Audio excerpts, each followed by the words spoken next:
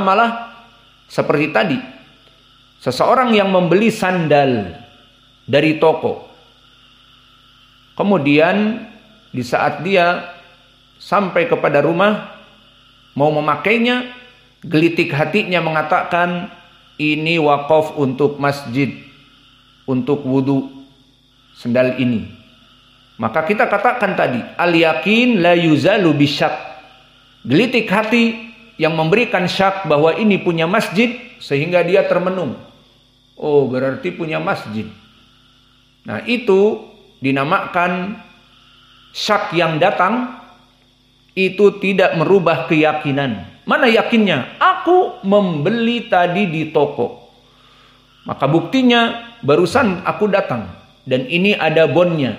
Aku memberi di toko sepatu harganya 200 ribu sendal yang kulit dan ini baru saya buka dari kartonnya dan bisa mempersaksikan pembelian tadi orang yang menjual kepada saya dan telah terjadi akad al-bay'ani bil khiyar. Bahwa jual beli itu telah terpenuhi dengan khiyar. Saya memilih dan saya setuju dengan harga dan orang itu memberikan dengan harga yang saya setujui dibayar 200 dan ini bukti. Nota dibayar kontan dengan cap juga dari toko. Ini semuanya al yakin bahwa sandal itu milik dia. Maka al yakin di kaidah la yuzalu bisyak kemudian dia ragu atas kepemilikan itu. Kenapa? Untuk masjid. Loh dari mana datang untuk masjid Hati ini bergelitik, ini sodakoh untuk masjid. Fahim? Maka akhirnya dia banyak di rumah bertumpuk sendal. Berkarung-karung. Karena setelah dipakai sendal, ini untuk masjid. Akhirnya ragu, masa aku pakai untuk masjid? Untuk keperluan sehari-hari. Akhirnya disimpan. Dan beli lagi. Dan seperti itu untuk masjid. Maka ini jawaban dari hadis ini al yaqinu la yuzalu bisyak dan begitu pun dari kursi dan begitu pun dari motor maka semuanya fil asal hakkuhu milik dari dia. Apalagi ada bukti-bukti akad di saat dia membeli dan dipersaksikan bagaimana dia membeli dan membayar oleh tok, pihak toko maka ini dinamakan al-yaqin. Dan begitu pun dari segi ibadah. Seperti seseorang sholat, tentunya melaksanakan syarat. Apa syaratnya? Wudhu. Maka dia melaksanakan wudhu. Dan dia sudah yakini bahwa dia melaksanakan wudhu. Kemudian di tengah tengah sholat datanglah syaitan membisiki kepada dua syarat. Pertama, kamu tidak berwudu. Bagaimana kamu sholat? Dia yakini tadi. Aku ini sekarang sholat sudah tiga rakaat. Dari wudu yang dia ingat. Wudunya di mana? Di WC, di masjid, bukan dari rumah. Dia ingat. Dan di saat wudu pun dia ingat dengan temannya di sebelahnya. Dan dia ingat dia membuka arlojinya maka itu semuanya al yakin la yuzalu bisyak. Keyakinan itu tidak terangkat dengan syak yang datang dari syaitan yang membisiki kamu tidak wudhu. Maka di sini jangan peduli. Al yakin la yuzalu bisyak. Bahwa keyakinan dia sudah wudhu tidak bisa terangkat. Kemudian jadi belum berwudhu jadi mengulang lagi karena perasaan-perasaan keraguan yang datang. Dan begitu pun tentang permasalahan keluar dari angin. Maka setelah syaitan dibantah dari permasalahan wudhu, dengan dalil dia ingat saya wudhu, bahkan di tempat wudhu masjid, bukan dari rumah. Setelah turun dari motor saya berwudhu dulu. Dan saya ingat di saat berwudhu, melepaskan arloji saya dan saya berbincang dengan takmir masjid apa kabar Pak dan sebagainya. Itu semua dia ingat. Ah, sudah. Al yakin la yuzalu bisyak. Taib berpindah syaitan kepada ibadah sholat ini, okelah kalau begitu kamu sholat dengan wudhu. Namun barusan kamu kentut. Dijadikan was-was bahwa dia merasa mengeluarkan angin. Dan ini yang dilakukan oleh para syaitan. Mengganggu sholat bagi mereka tapi orang-orang yang lebay.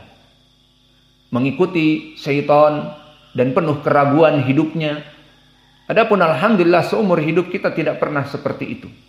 Tidak ada was-was dan tidak pernah mengikuti was-was karena al yakin la yuzalu bisyak. Kita dalam melaksanakan sesuatu perhatian, wudhu sudah dan tidak mendengar suara ataupun tidak mencium bau bahkan di saat menunggu sholat seperti pelajaran maghrib kita setelah sholat maghrib menunggu sholat maka di saat dibangunkan Isya, dia ingat, aku tidak mengeluarkan gas di saat aku belajar. Karena ucok-ucok sebelahku tidak bangun. Atau protes, bau, dan sebagainya. Berarti aku tidak mengeluarkan gas misalnya. Maka di sini keyakinan yang tidak terangkat dengan syak. Sehingga di saat dia sholat, dibisiki oleh syaitan setelah tadi wudhu tidak mempan, kamu belum berwudhu, sudah yakin Ya sudah, kamu barusan kentut. Ini cara syaitan yang kedua. Karena masuk kepada syarat. Syaratnya tidak terpenuhi. Karena di hadis disebutkan tidak terpenuhi sholat seseorang jika dia hadas harus berwudu. Nah, kamu telah berhadas. Kamu harus berwudu lagi. Maka ini pun diobati oleh Nabi dengan ucapan penuh keyakinan. Apa? Jangan kamu mengikuti was-was tersebut. La yang sorif wa la yang fatil. Itu lafadznya. Jangan kamu membatalkan sholat kamu dan kamu keluar dari sholat berjamaah kamu. Hatta yasma'a sautan. Sampai kamu mendengar suara. Maka jika dibisiki oleh syaitan. Kemudian kamu jangan langsung ikut. Oh aku kentut ya. Iya mungkin Nah, diberikan pertanyaan-pertanyaan kepada syaitan, iya kentut ya. Akan dijawab oleh syaitan di dalam hati, iya barusan kentut. Seperti itu. Tapi kembalikan kepada keyakinan. Apakah tadi ada suara? Dia jawab di dalam hati, tidak, tidak mendengar suara. Maka di sini orang tersebut lanjutkan untuk sholat. Namun kalau memang dia tadi sebelum dari salat memang dalam keadaan perut kosong dan dia mempunyai asam lambung, gastritis, akhirnya kembung perutnya atau baru makan bisbas, maka perutnya kembung, banyak angin. Kemudian di saat ingin keluar dia jaga, dia jaga. Di saat ruku Allahu Akbar terdengar bum bagaikan bom atom di Hiroshima Nagasaki. Maka dia di sini sudah jelas yakin kalau dia harus keluar dari sholat karena terdengar suara. Maka di sini masuk kepada perkara tadi al yakin la yuzalu bisyak. Keyakinan seseorang mempunyai wudhu dan terus dalam keadaan tahir tidak dia itu terangkat dengan syak kecuali dengan keyakinan pula. Apa yakinnya di sini? Mendengar suara bagaikan bom atom, bom. Ah, sudah. Yakin ini suara barusan. Ya sudah berarti dia batal. Fahim? Atau tidak terdengar suara tetapi bergerilya di saat dia tadi merasakan ada yang keluar tidak peduli. Nggak ada suara kok Lalu pas dia sujud ternyata tercium bau bangkai. Maka ia berarti aku telah kentut. Maka ini keyakinan yang mengangkat keyakinan wudhu tadi dengan yakin. Maka barulah dia melaksanakan keluar dari sholat. Maka di sini kesimpulannya keyakinan seseorang dia mempunyai wudhu dan keyakinan seseorang bahwa barangnya dia itu hak miliknya yang dia beli dari toko Itu keyakinan la yuzalu bisyak. Tidak terangkat dengan syak. Keraguan dia ini telah diwakafkan ke masjid. Atau ini tadi aku merasakan perut mual telah kentut. Atau tadi aku tidak berniat di dalam keadaan berwudu. Maka semua syukuk, semua syak-syak itu dianggap angin lalu. Seperti pepatah Al-kalbu ya'wi wal khalifah tamurru. Anjing menggonggong, khalifah berlalu. Maka ucapan-ucapan syaitan di dalam hati ini jangan digubris. Sampai kapan ucapan-ucapan keraguan ini tidak digubris? Sampai datang yakin. Semisalnya, semisal dia waktu dia wudhu. Dia yakin wudhu. Yakinnya dengan apa? wudhu ini bisa batal dengan yakinnya sebab yang disebutkan oleh Nabi. Apa? Di saat dia sholat perutnya mual, pas ruku, maka dia keluar dari suara. Bem. Maka yakin suara tadi membatalkan keyakinan dia telah wudhu. Di saat dia protes, tapi aku telah wudhu. Iya, wudhu kamu batal dengan suara keluar gas tadi dari perut kamu. Dan juga jika tidak telah keluar bau dari perut kamu keluar gas. Maka di sini tidak terangkat keyakinan dari punya wudhu kecuali dengan keyakinan bahwa dia kentut dengan dua keyakinan keluar gas, bau ataupun bersuara. Maka ini yang bisa kita berikan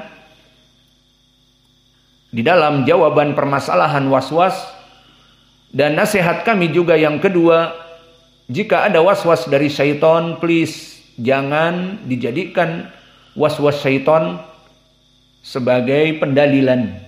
Karena di hadis tadi disebutkan layan syarif walayan fatil.